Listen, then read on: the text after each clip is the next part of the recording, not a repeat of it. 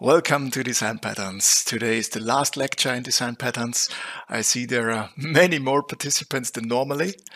Perfect, because today we will talk about the content of the whole lecture. So what did we talk the last few months?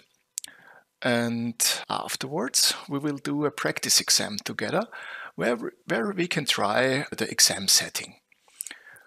I have not activated the exam in TeachCenter right now. I will do this after the summary. Okay, so first I will give you a short summary of the whole lecture, then we'll do the practice exam. And in the end, I ask you to please do the evaluation of the course, to give me a final feedback and an official feedback, what we should keep for next year, what we should change for the next years, and any other comment you have. In the end, there is some optional task because the Institute for Software Technology asked me to uh, give you uh, a, quiz on software bugs. This is from a project of them. And there you have to ev evaluate the, the type of software bug bug report. So has this something to do with memory? Has this something to do with configuration management and so on? They use this in a research project of them. And yeah, so if you're interested, the link is in the TeachCenter, and I will also post it here in the BigBlueButton room in the chat. So yeah, if you're interested in, in quiz on software bugs and software reports, then please help the Institute for Software Technology and do this quiz in the end. But this has nothing to do with this lecture. This is just a cooperation between the institutes. Okay. In the first lecture, I asked you which design patterns do you already know? This was the word cloud, which yeah, you created. And if we look at it, you already knew many patterns before, and the funny thing is now, in the meantime, you all know these patterns. So not only single persons, but actually if you look at the word cloud, you should know each and every pattern which is on there. Maybe there is a, a, a pattern which we did not do in the lecture.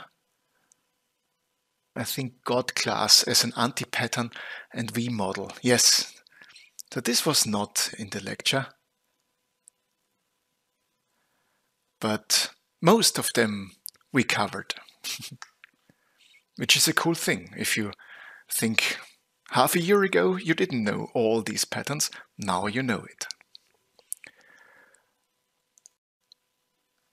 Okay, from the timeline, so for the big picture, we covered a huge amount of patterns.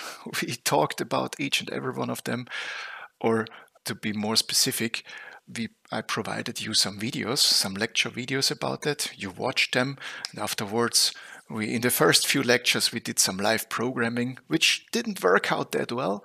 But afterwards, we switched over to doing this interactive quiz using Feedbacker, which which worked way better.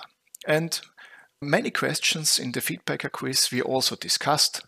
So there were some unclear things, there were some questions, and I tried to answer all of them. Today, as you can see, we are in the last lecture and here we only will see a summary and the, the practice exam to be prepared for next week. First of all, who in who started the whole pattern movement? It was Christopher Alexander, not in 2012, but in 1977 by writing his book about architecture which is called a pattern language. And there he set the foundation, the building blocks of all patterns by saying a pattern needs a context, a pattern needs a description of the problem and the forces, and the pattern needs the solution and, what is the most important part, the consequences. So the pattern you also have to describe the, the benefits and drawbacks of each and every pattern because this is the experience, this is the insight and knowledge.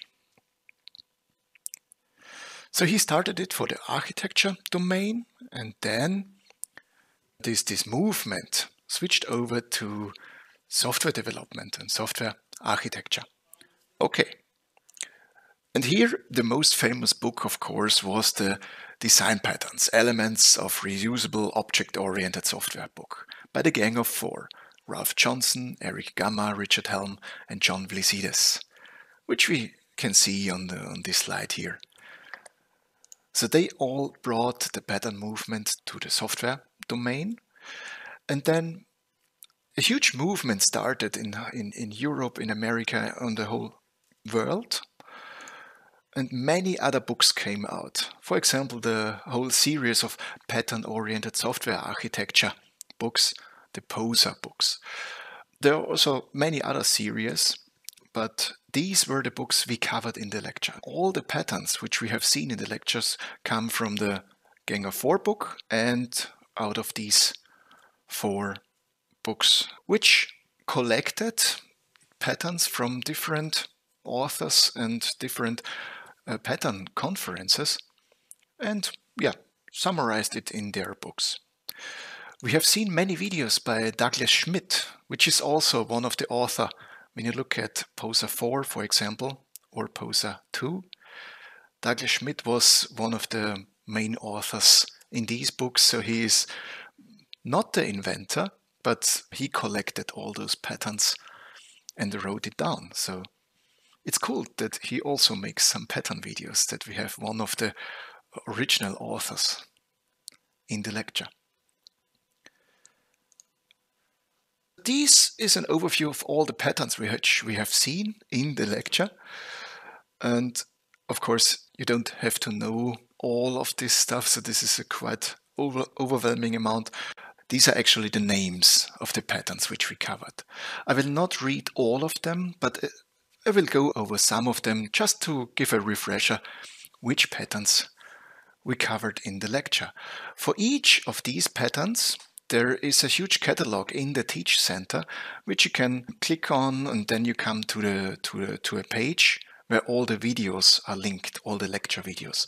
So if you search for a specific pattern, just search it in the TeachCenter, in the glossary.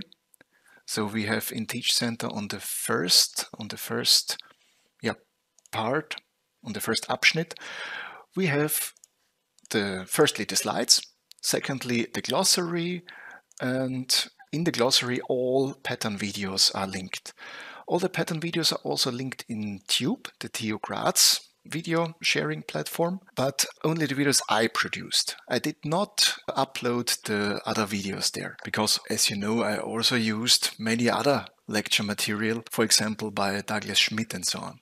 And I am not allowed to upload it to our TU Graz tube. But let's continue by going over the patterns which we covered. First, we talked about some wrapping patterns, which is the very yeah, most general form of a pattern. So if you can't solve a problem, just wrap around another layer of abstraction and try to solve it. So here very famous patterns are like the adapter, the proxy, the decorator and the facade. Then we talked about creational patterns, where the main purpose is to create objects.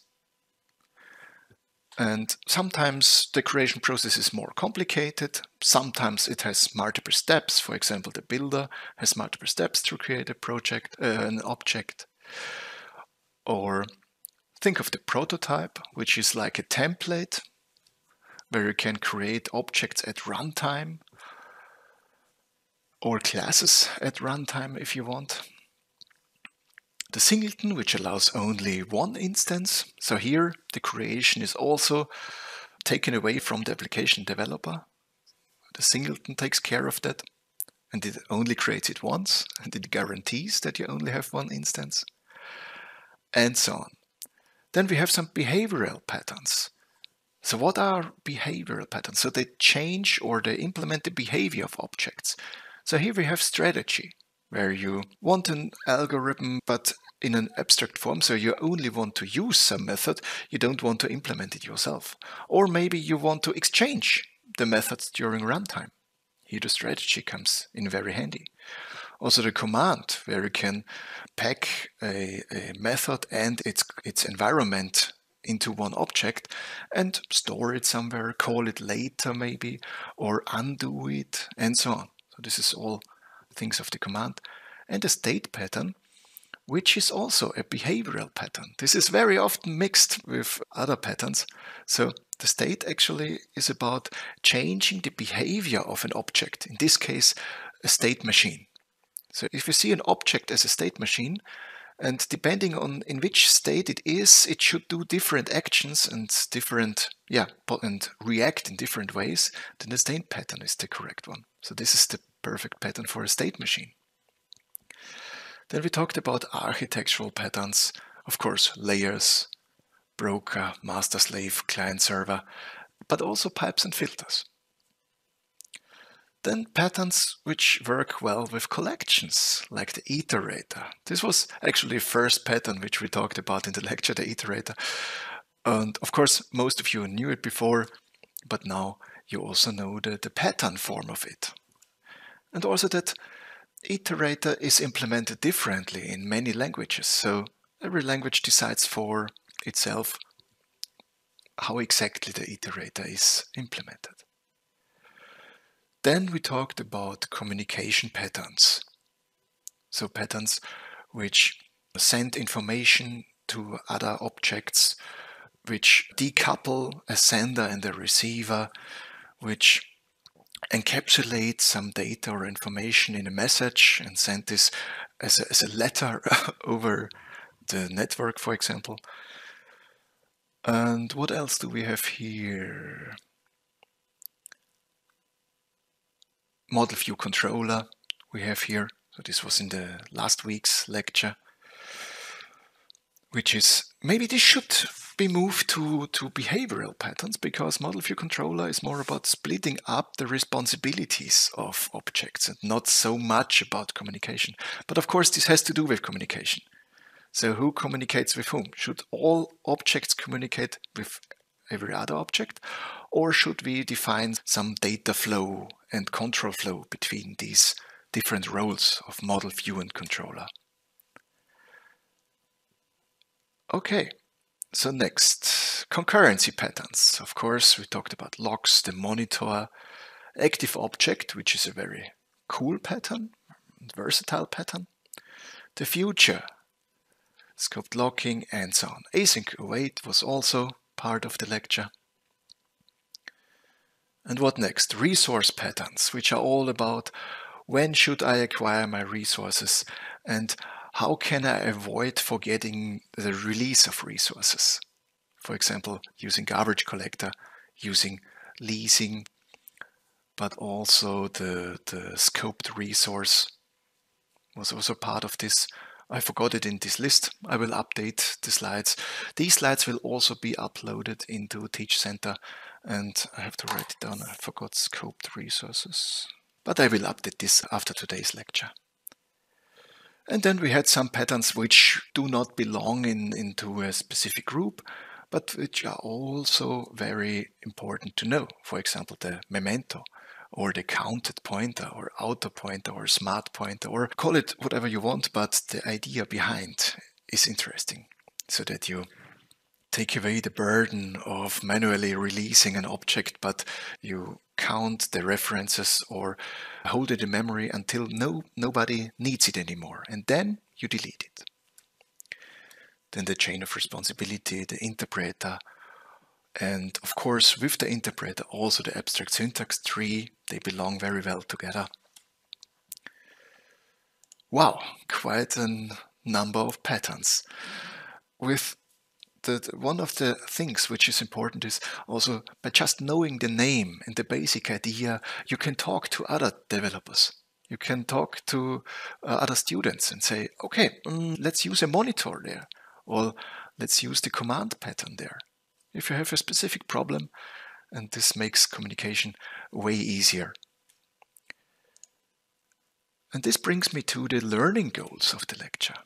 So in the beginning, in the first lecture, I also showed you what the learning goals for this lecture are.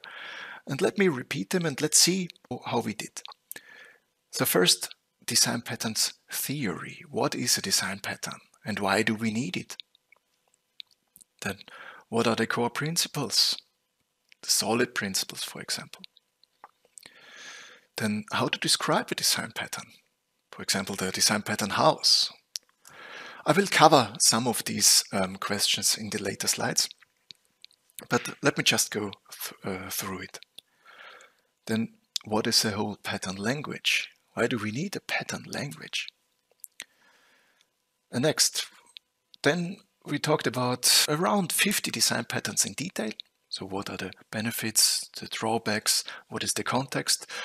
Some patterns we talked about in more detail than in others. So for some patterns we only got the idea, the basic idea, and maybe the application of it.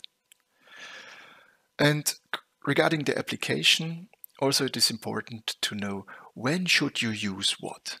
So is the broker, which is a, a wonderful and versatile communication pattern, should we use the broker everywhere and in all our applications? Of course not. Only where it makes sense. And we discussed some of the use cases where it makes sense. Okay. So the actual learning goals was, you know common design patterns and their core idea. You can apply them in software development regardless of the programming language. This is an important thing. Software design patterns should be should not be bound to a specific language. These these are called idioms. Not idiots, but idioms, which are specific to a programming language. But software design patterns in the more general notion should be independent of the language. Then you can derive the consequences of design patterns and see or evaluate your design decisions. For example, should we use a mediator pattern or should we use the observer pattern? For the specific use case, you should see what the differences are and which is more appropriate. You decide if the consequences of, of a pattern are acceptable or not. You avoid over-engineering and misuse of patterns. So this is, I think I mentioned this quite often, that you should not use the design patterns for a Hello World application or for a simple script. It doesn't make any sense. But for any, any bigger project, it makes sense to use more and more design patterns because they make your architecture more flexible. They avoid common problems and so on. And you don't have to reinvent the wheel. And then the last learning goal was you can make reasonable design decisions by balancing out forces consequences for a specific set of requirements and problems. So what is a design pattern? This is a question which is in all exams and my short definition was a proven solution for a recurring problem. You could also say a solution template for a, a, problem which occurs very often, or simply a, template for a, a problem. I also accept creative answers to this question. But the important thing is that it solves a problem which occurs over and over again, and that it is, it is proven. So it's also a, a similar solution which solves this problem in multiple projects. So you have used it multiple times already and it's proven. And actually it is not a concrete solution. So you just gave, give away the idea behind how to solve this problem. A solution idea would also be a valid answer, but uh, a solution idea which was implemented multiple times and solves a problem, then it's correct. Just a solution idea is not enough. So, design patterns consist of several parts, which sometimes are called differently, but basically the name is important. So we want to have a catchy name for a pattern.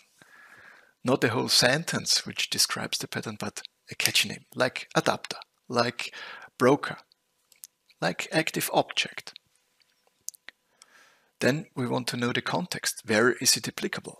Because patterns can exist in software development, they can exist in, in hardware development, in there are social patterns, there are patterns in architecture, nearly, nearly in every domain there are patterns, Musterlösungen.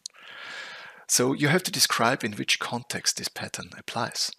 You cannot apply a software development pattern for, for mountain climbing. These are different contexts. For us in the lecture, of course, mostly the context is you're developing a software and yeah, some problem occurs there. So the problem also must be in the description of a pattern. What do we want to solve? The problem should not be trivial because then it's clear and obvious what to do. So the problem should be a, a complicated situation which is not obvious. And when is a problem difficult? When it has antagonistic forces, conflicting forces. So some pulling forces, some uh, pushing forces. And this physical metaphor stands for you have constraints in your software. So why is the problem difficult? Why does it hurt in this context? Very often, for example, if your context is embedded development and you want to apply a pattern, very often you don't have uh, enough memory. You only have limited CPU resources or very low or very low energy requirements and so on. So these are some constraints and these constraints often force you to go in a specific direction with your solution because um, nothing else would be feasible or reasonable. And this leads me to the solution itself. So here you should provide a generic description of the pattern. Very often this is given in two parts. So what are the static participants? So what are the objects and classes which work together? And the dynamic part. How do they work together during runtime? How they are built up? Who communicates with whom? And who calls whom? In the end, after applying this solution, we have a resulting situation, and this is called the consequences or rationale behind the pattern. So what are the benefits and liabilities of this resulting situation? For example, we are using a broker, but oh, suddenly we have so many, we have a communication overhead and we have to use multiple processes or multiple machines where this broker should run on and the client should run on on the server and I don't know the server anymore. I have to register it first and so on. So there are some liabilities we have to think of after applying patterns. Also, what are the limitations?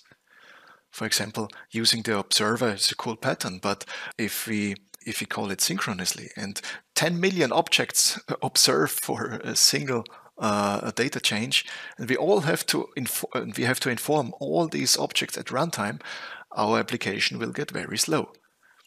But these are some trade-offs. And then the known uses. So how is this pattern applied in real life? These are actual solutions. These are implementations in real life. And yeah, most of the time for us, especially since most of you are already in the master, have seen already many examples and we included many examples in the videos and the lecture, but not for every pattern. I have to admit this. I've not shown this for every pattern. Okay. So here I want to repeat the, the pattern house metaphor again so that you remember the parts of a pattern. So above all, the name, the name of the pattern stands. And the roof resembles the context of the pattern. In the inside, we have the problem and the forces, and corresponding to that, the solution and the consequences. And you can see these are all connected to each other. So the solution solves the problem, is this the right direction? Am I mirrored or not? Uh, doesn't matter. The solution solves the problem. The problem induces or is difficult due to the forces.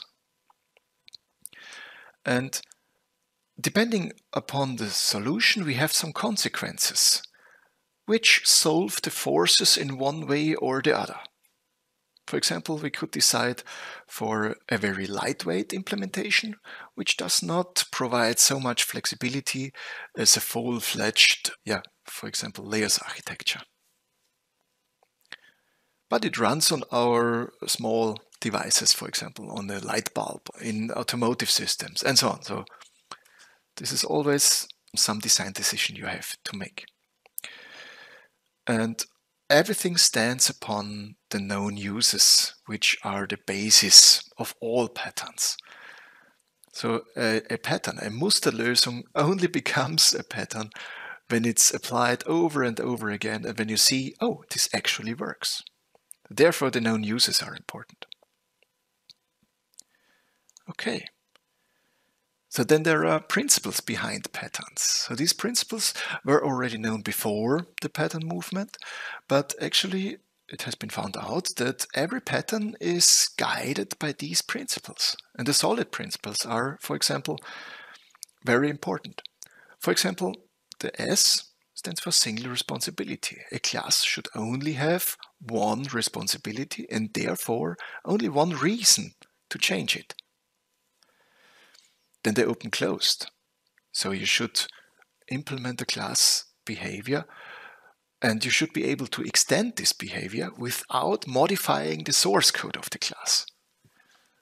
So this can very easily be achieved by using the strategy or the state pattern, for example. So the original state machine is unchanged. The source code of the state machine is unchanged, but by providing it with a configuration of the state machine, of the transitions, and of the, the states itself, you can modify the behavior of the state machine. Then Liskov substitution, which is, yeah, for free if you use modern programming languages, that you should be able to substitute derived classes instead of their base classes. Then you can make some interfaces, you can make abstract classes, and you can use these interfaces and abstract classes but actually you're using the instance of a derived object, of a child object of that. Then interface segregation, that you make fine-grained interfaces which are specific to a client. So you should not give the client all possibilities, you should restrict the possibilities to exactly what he or she needs. There also the idea of make an interface hard to use, uh, easy to use right and hard to use wrong. And the last is dependency inversion, which is of course a similar idea to Liskov substitution, but here more on the implementation side. So you should not use concrete classes, you should use abstractions, for example, interfaces or abstract classes. And this makes it easy to derive from these abstract classes or implement interfaces and allows the, or the using developer to provide his or her own implementation. Okay, what else? I see we should make it a little bit faster because actually everything I, I say now is was also already said in the first lecture and there's also a video of this online, so I just repeat it to bring it back into your minds. We also had these principles of good programming, like decomposition, abstraction, decoupling, usability, and simplicity. So decomposition is a very algorithmic approach to break down a big problem which you are unable to solve into smaller steps and try to solve these smaller steps. This can be applied in life also. So uh, if you have to write your master thesis or dissertation or bachelor thesis, and you stand in front of this huge mountain of work, you, you have to break it down into chapters, you have to break it down into single tasks and solve these tasks one after another and go step by step. And then you can solve the whole problem. So this is the idea of decomposition. Then abstraction. If something is too complicated, then wrap a, a simpler layer around it like the adapter or a proxy. Or the layers pattern also uses this kind of idea. And abstract away the details. if you want to commu communicate uh, or send a message over the internet, do you want to know exactly how the MAC frame is built up or what are parts of the IP header? No. As an application developer, you just want to send a message. Abstract away the details and then you can handle it more easily. Then decoupling. And decoupling means to shift the decision times to later, basically. To not directly know the communication partner, for example, but combine this at runtime. And reduce dependencies. So you, it should not be that you have to recompile your complete source code whenever you're making a small change anywhere. It should be that these the objects are decoupled from each other. And of course, by using interfaces and by using abstract classes and header files, you, you can make uh, this work by using abstractions and programming against abstractions, you can decouple objects from each other. Okay, and in the end, usability and simplicity. Here again, we have this famous saying by Scott Meyers, make things easy to use right and hard to use wrong. Provide an easy interface to the application developer. Adhere to the expectations and make the usage of your classes intuitive. And with this also avoid over optimization or premature optimization. Just implement what is needed right now. Of course, you should think a little bit ahead, but not too far, otherwise you over-engineer your solution. And with adhere to expectations is meant very often programming languages have their coding standards, have their styles which you use. And if you switch between languages, you're tempted to, to use your own style, which you know already, and apply it to a different language. And this is very often completely chaotic, and others cannot read your code or do not understand it intuitively. So try to adhere to the context which where you are working on. Also regarding your IDE, for example. Use the IDE which is used in your company and do not force everyone to use Vim or Emacs or whatever. Of course, they are good uh, um, um, editors and good programming environments, but if your company using is using Visual Studio, then please also use Visual Studio. Don't be so forced or don't be so narrow-minded. Okay. Next, there are some different types of design patterns, and this is an artificial structure, as I already mentioned, but there are patterns which have which influence the whole architecture of your software. For example, the layers, the broker, model view controller. Although there is some controversy about this, but these design patterns influence the whole software application and the whole architecture of your application, and therefore they are called architectural patterns. Then there are classical design patterns, which influence a few components, but not the whole architecture, and also more than just a single method. Because single method design patterns or design patterns which are specific to a language are called idioms. So they solve very small problems for example, the counted pointer, uh, scoped locking, scoped resources. These are idioms. Or for example, the, the, the boilerplate in Python. So the if name equals main, then this is also an idiom specific to Python.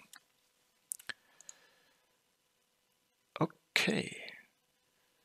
Here we have an overview of the gang of four design patterns and I marked in green, actually this should have been they should phase in one after another, but doesn't matter. I marked in green all design patterns which we covered. And as we can see, hey, we covered the whole book perfectly. we covered decorator, we covered composite, iterator, memento, and so on and so forth. Perfect. You know the whole book now. Next, we also covered many patterns of the POSA 1 book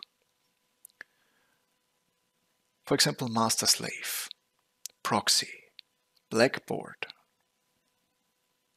command or command processor as it was uh, called in, in the book, then model view controller, presentation abstraction control, whole part.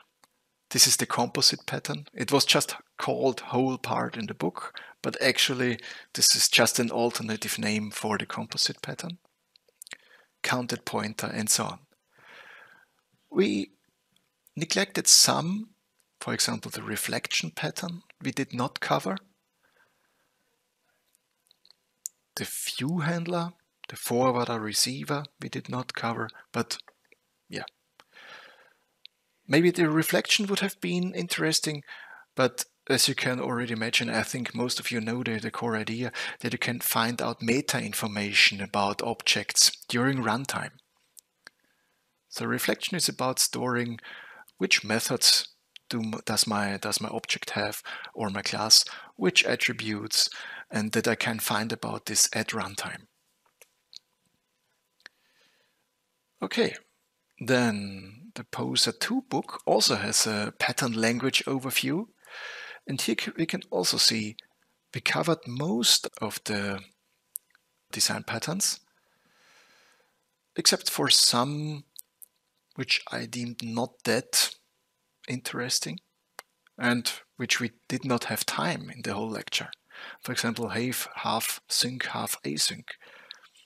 An object which you can call synchronously and asynchronously and which synchronizes itself between the two worlds. Or the extension interface we also did not cover, which is about if I want to have a simple interface, I call a factory method which returns me a simple interface. If I want to have an advanced configuration possibility, then I call a, a factory method which returns me the same object, but under a different interface and supplying more possibilities. So here I can choose which complexity, with which complexity I want to have or I want to handle an object. And so on. So as you can see, also we covered most of the patterns here. The other POSA books did not have such a convenient overview, so I did not include it here in the slides. In the end, a few philosophical thoughts. Patterns of the universe, you see it in the picture. So patterns are actually a universal principle. Maybe evolution works with patterns survival of the fittest works with patterns. But applied to the, the knowledge domain, how do we transfer knowledge? So, what is knowledge? Do we just learn anything by heart and repeat it? And when do we apply ideas? So, we have to have an inner model in our brains which decides if we can accept some consequences or if we cannot accept consequences. And patterns are one way how to express this model. So first we want to make knowledge explicit by writing it down. We want to, to be findable by publishing it in books, in papers, in conferences, in videos. We want to make this knowledge understandable. Oops, uh, sorry, I got just got a, a message here.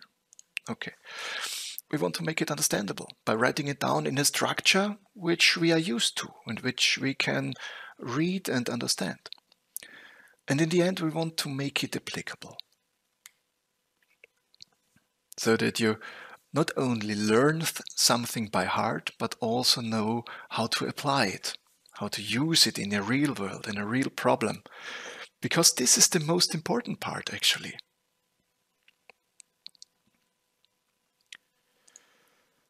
Okay, that's all regarding the summary. I thank you for participating in the whole lecture. That's all, folks. And now we switch over.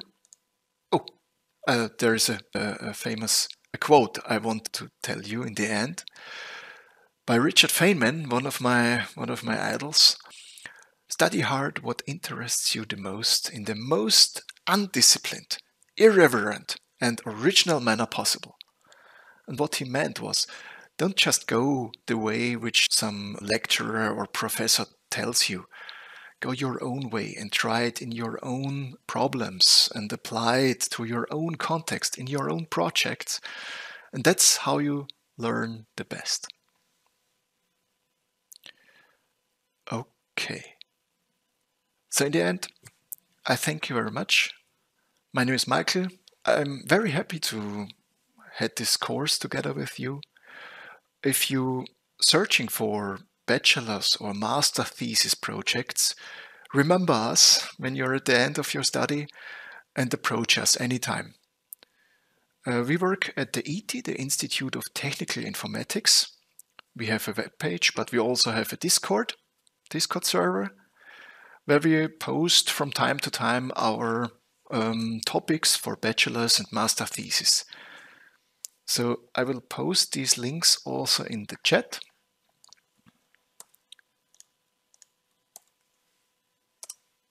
Or you can scan the uh, QR code if you want. So just join the Discord server and you will get updated as soon as we provide a new topic or search for students. You can do projects with us. So this 10 ECTS projects, which is in every master study, I think. You can do seminars with us or bachelor's master thesis. And we are also searching for PhDs. So if you want to do an academic career or scientific career, you can also do this with us. So just start with a master thesis, for example, and if you prove for yourself and and you want to continue at the university in an academic path, you can also do a dissertation. Okay, so that was it for today's lecture. I will now activate the exam in TeachCenter. You have, yeah, you have enough time to try everything out. But as you, as I sent out in yesterday's email, you can also use this time to enter big, this BigBlueButton session with your smartphone and try out this the composition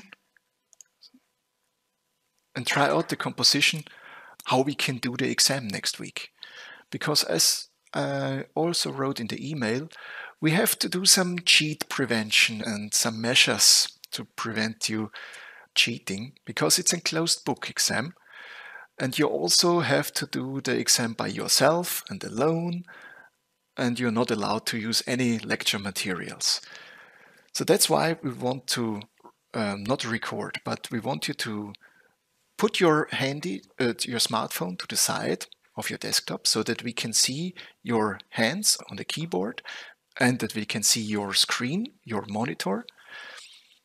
And we will supervise you during the exam next week. And you can try this today.